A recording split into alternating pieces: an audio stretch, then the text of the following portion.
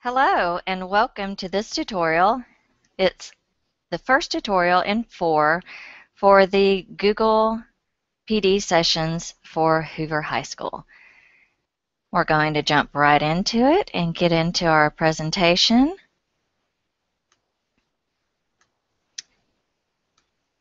Okay.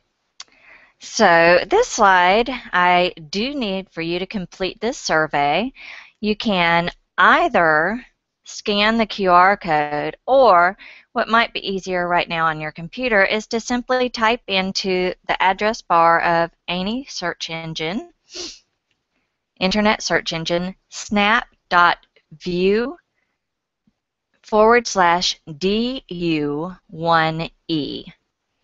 Snap.view forward slash DU1E. It's very important that you complete this survey because it will be used for the next for this session and for the next three sessions after this one.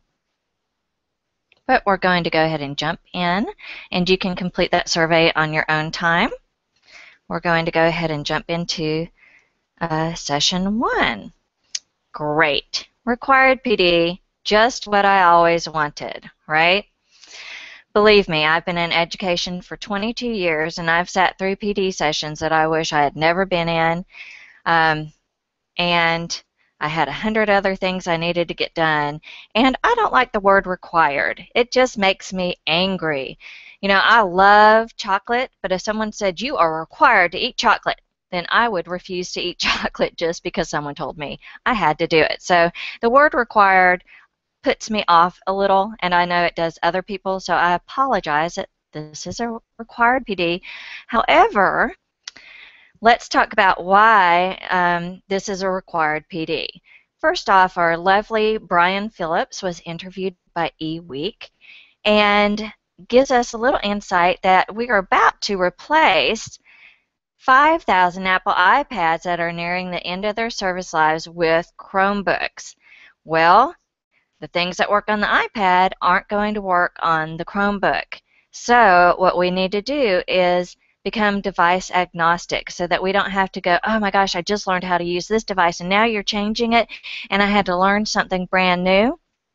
Well, the point of these sessions, this session and the next three sessions this school year, are to help you to become device agnostic so that it doesn't matter what device we use you'll be good to go no matter what the kids bring into the classroom as we eventually move into a bring your own device environment.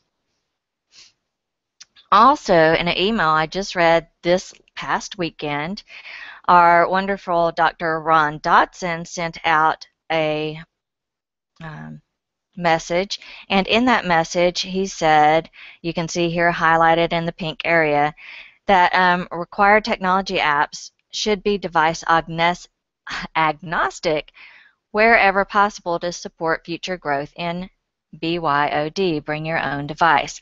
So that's the point of this um, PD session and the next three PD sessions is getting you up to date and moving away from iPad exclusive apps to device agnostic technologies to be, that can be used with Chromebooks and any other devices, including iPads. So again, required PD, ugh. However, I'd rather sit in a required PD than to plan all summer for lessons on my iPad and then realize, oh my gosh, we're not using iPads anymore, we're using Chromebooks. And now I can't use the plans I spent my whole summer planning. I'd much, much rather sit in a required PD than to um, end up in a situation like this. And so that's the point of these professional development sessions. So, welcome to Google Drive 101. Again, it's not about the device. Um, teachers have always been upset whenever the device has changed from writing with chalk and slate to pencils. Uh, there was complaints about that. Um, going from quill pens and ink jars to using ballpoint pens, there was a big uproar about that. But remember, it's not about the device, it's about empowering students. And so we're going to get away for, from that whole device debacle. Okay, it is, though, about SAMR and meeting those SAMR um, different levels of SAMR and moving from the shallow end into the transformative deep end. And we're going to start in the shallow end. We're going to move in, but I want to show you this. I'm going to click on this picture. And I want to show you this great site. This is Chromebooks in Plainville, but over here on the right-hand side, you see SAMR scenarios. And I know that figuring out, well, what can I do to get to one of those higher SAMR scenarios in my classroom? What I love about this is that they are sharing, the school district has shared with us um, different types of lesson plans and then told you what type of SAMR, um, where in SAMR it falls. And so I would encourage you to come back sometime and take a look at this so that you can see, and it might, um, you know, polar bears were in high school, that's not really going to be our thing, but maybe there's something they're doing with polar bears, like using Google Forms, that you could do in your classroom to then reach that modification level or other things, redefinition levels, redefinition. There may be something that will um, trigger something in your lesson plans that help you to know what to do with that SAMR model. So that is something I put in there for you that I think would be great to go back and review at a later time. All right, tomorrow's illiterate will not be the person who can't read, it'll be the person who has not learned how to learn. One thing we as teachers need to do is back off and let the students start asking the questions and coming up with the answers because they have to know how to learn. We're training students for jobs that don't even exist yet. So feeding them information and having them regurgitate it back out to us is not enough anymore. Students have to know how to explore, come up with the questions and find the answers and learn how to learn. And so I'm hoping that this is what we're going to be moving towards. But let's look at Google Drive. We're going to learn about Google Drive today because it's device agnostic. We can use it on our desktop, on our laptops, on our iPhones, on our tablets, on our Android devices. It doesn't matter. We can use it across the board, and that's what being device agnostic is. One reason I love Google Drive is because I never had to worry about my files. I've never lost anything that I've put into my Google Drive. I've lost USB um, memory sticks. I've had them become corrupt. I've had them stolen. Um, my daughter called me one time when she was in college, had a big final. She had typed everything on her computer. Her computer crashed, and she's, Mom, what do I do? I'm like, Well, did you do your work on Google Drive? No, I just had it saved on my computer. Well, guess what? All your stuff is gone. If she had done it on Google Drive, like I had told her, of course, children never listen, she would have had it. And then also you see over here I have a picture of our um, servers in our district. I have been in a district where the servers were infected and I've lost everything. Well, I didn't lose everything. Everyone who was using the servers lost it. I had all my stuff on Google Drive. I didn't lose my information. So, you know, even servers can be infected and you can lose your files. So I would say if you don't want to be in the situation where you lose a file, use Google Drive. All right, we also here in Alabama want to get our, our students college and career ready. Well, seven out of eight Ivy League institutions use Google and Google Apps, and 72 of the top 100 universities in the U United States use Google and Google Apps. So if we want to get our students college and career ready, Google is one of the things we need to be exposing them to. So we're going to get started. I know most of you have iPads with you because we're an iPad school right now. We haven't transitioned yet to the Chromebooks. So I'm going to take you through using your iPad with Google um, Drive and Chrome. Now, you should have already, before you came to this PD session, downloaded the Google Drive app and the Chrome app. So we're going to start with the Google Drive app. So click on the Google Drive app icon. You will most likely see a window like this. We're going to click on the Get Started button. When you click on that, you will want to sign in to your Hoover City Schools account. So that would be your first initial, last name at hcs-students.net, and then your password. Well, if you have not already set up your Google account with your hcs-students.net account, your password is going to be capital W E L C O M E, the numeral 1, and an exclamation point. Okay? So your username, the same username you log into your computer with at hcs-students.net and if this is the first time you are logging into this account, you will want to type in this password right here, capital W in welcome, the numeral 1, and an exclamation point, and then click sign in. And those of you who are watching this, if I'm too fast, click pause, catch up, and then click play again, and know you can rewind and fast forward as much as you need. You may come across a page that looks like this. Go ahead and enter those letters that drive me insane and click I accept. Now you need to change your password. Personally, I like my password to be the same password I use to log into my school computer. That way I don't have another password to remember. But this password's up to you. Whatever you want it to be, just don't forget what it is. So type in your new password and click Change Password. And now you should see a page that looks like this. Of course, it's not going to look just like this because I have files in mine and you don't have files in yours yet if you have not used your account. But you should see something similar to this. If you don't, let me know. and now I want you to notice over onto the right hand side in the top you'll see a little plus sign this is how you can create a new document. This is similar to Microsoft Word, or a new spreadsheet, similar to Microsoft Excel. Or you can create a new folder. You can also upload photos or videos from your iPad, or you can actually use your camera to take a picture and it will automatically load in to your Google Drive account. Now, let's see how this looks going through Chrome. And you're thinking, well, if I have the Google Drive app, why do I need to go through it in Chrome? Because if you want to print to the WEPA printers, you're going to, it will not let you do it from here. You'll have to do it from the Google Chrome.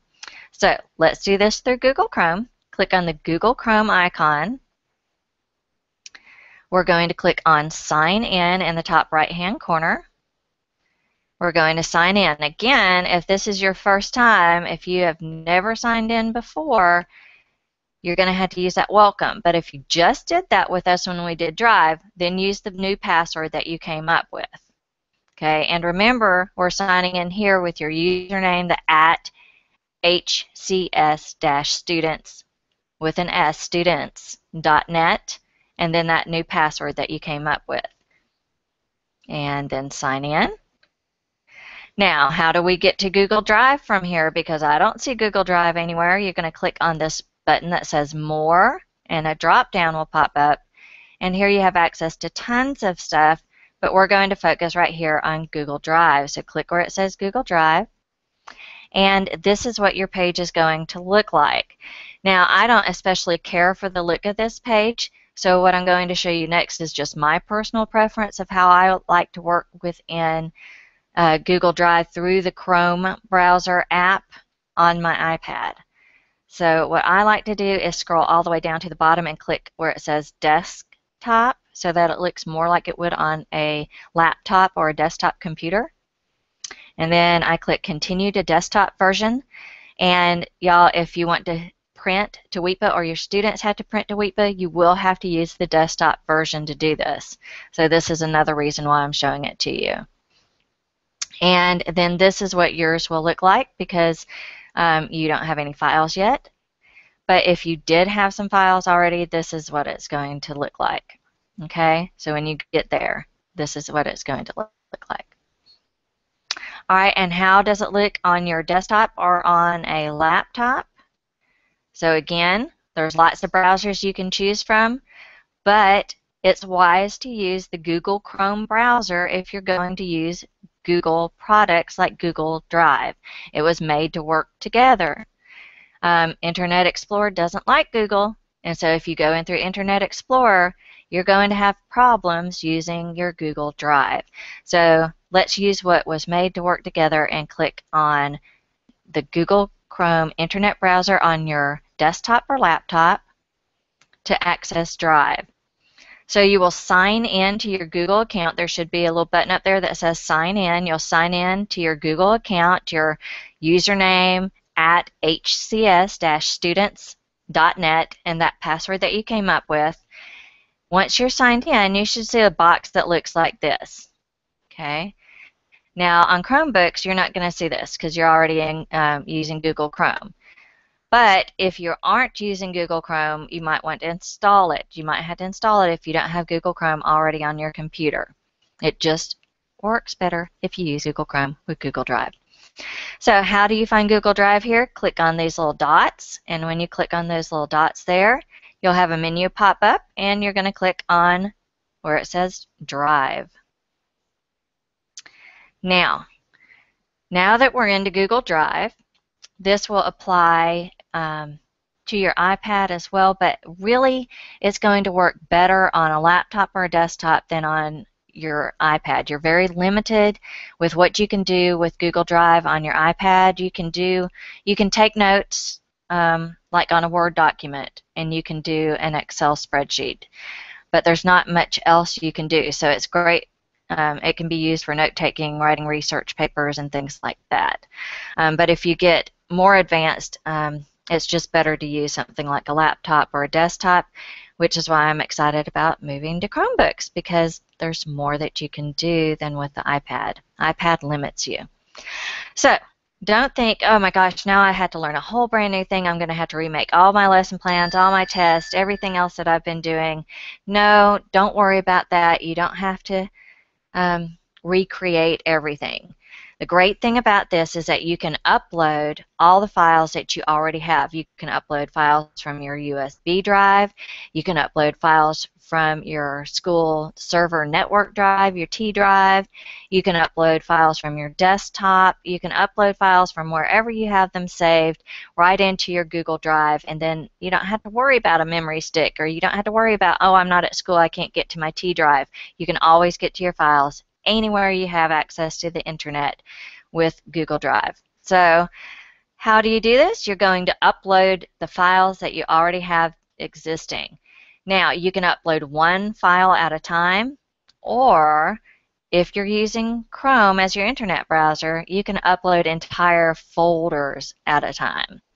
Now, with our school district, you have 30, I think it's uh, gigabytes of storage space. Um, but if you actually create or convert your documents to Google Docs, you have unlimited storage space. Uh, that beats the heck out of um, Dropbox where you only have two gigabytes of space. So I love this. Now, you'll be asked, hopefully, um, you always want to confirm the settings before each upload. You can choose to convert your documents to Google Docs I wouldn't do that to begin with because some some transfer fine, others don't transfer perfectly. So I would probably take the mark out of that for right now and let it upload as a normal Word document or a normal PowerPoint presentation, and then you can change it into a Google Doc. Now, here's the catch to that. When you don't convert it to a Google Doc, you're using up storage space. You only have 30 gigabytes. That's a lot but you only have that much, and you can't edit those documents. But in a later session, we will show you how to then convert it from Word inside of Google Docs into a, a, doc format so that then you can edit. So right now I'm just telling you you might not want to do that because it doesn't always transfer over um, beautifully. And then click Start Upload and that's how you would upload documents that you already have that exist. And I can go over that with you individually if you need that or go into more, more detail. Now, what I'd recommend though, from now on, start creating your documents in Google Drive.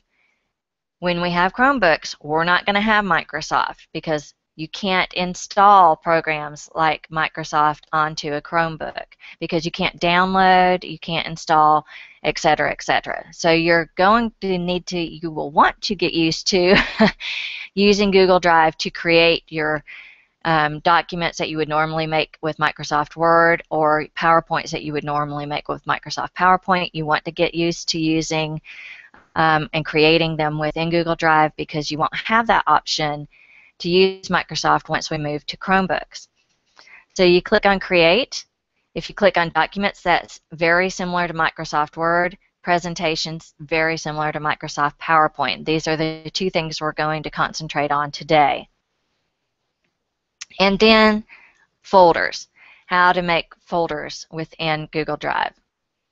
So if you click on this icon right here, this is a great how-to that takes you step by step through folders. And so I have made a lot of things in this presentation clickable. All right. And so we can take you through how to make folders. It's very easy to do. Um, matter of fact, if we go back right here where it says create, you can make a folder just by clicking on that. And then I'll go over some other um, information with you on how to do that. So let's go into folders. Oops. And I'm going to get out of this and take you into, let's see, let's go into, and let's look at some folders. So I'm going to go into Google Drive. And this is not my neat Google account where I have nice, neat folders. But if I go into my Google Drive, I have folders here and I can simply bring up the folders that I have. So here's a sample folder and yeah, let's do this again. Alright, so let's go in and create a document. So if I go in and create a document, I can just say I want to name the document. I can say sample document Click OK. I can always go back and change the name of this document anytime I want to. And then I just type like I normally would. And do you see that there's lots of information up here that looks very similar to Microsoft Office that you can work with. Notice I'm not going to click Save or anything on this. I'm just going to close out. And there's my sample document. And I can just bring it in. The nice thing about Google is I don't have to save anything. All right, now I'm going to create a presentation. And this is similar to Microsoft PowerPoint. I can change the backgrounds if I want, or I can choose different images for the background. I can choose a layout or a theme, what I want that to be. Here I can choose a theme. So Maybe I want that. And then I can just start working on it like I would a normal PowerPoint presentation. I can click the plus button to add more slides. And I can add anything in here that I want to add. Okay. And again, I haven't saved it. Let's title it first, though. Sample PowerPoint. Okay, I'm just going to close out. Notice I didn't save it, but it's going to be there. So, I can find it by looking for it, sample PowerPoint, or I can look in most recent, and there that is. And let's say I want that, it's not in a folder right now, let's say I want it in a folder. So I'm going to create a folder, and I'm going to say sample folder 2, created the folder, and so now I'm going to come down here. Here's my sample folder 2. I can click. I can change the color of that folder. And now I want this PowerPoint to go into my green sample folder. So I'm just going to click on that. And I'm going to click on Move To. I'm going to find my nice bright green sample folder and move it in there. So now when I click on my sample folder, there's my PowerPoint presentation. Now if you want whatever you create to automatically be inside of your folder, make sure your folder is open before you create and then it will automatically put that into that folder for you.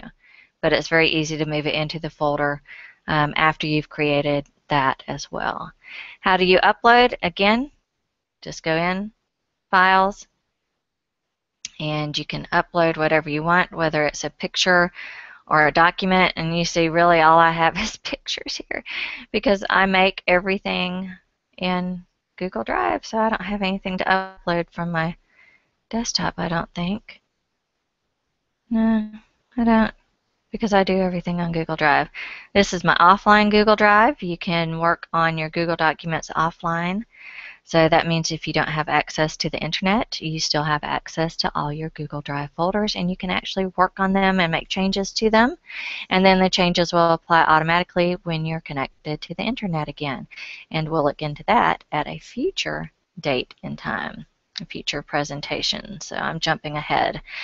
All right, so Good thing this is a recording and you can go back and forth as needed with how to upload and create. Here are some resources that I've gathered. Um, this is all things Google Pinterest page.